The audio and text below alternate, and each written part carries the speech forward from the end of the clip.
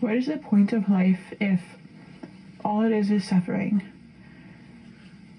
When my depression was in a really bad place many years ago and I, I had my spiritual awakening, I started doing all the teachings or listening to all the teachings and becoming very spiritual and getting into philosophy and all this stuff.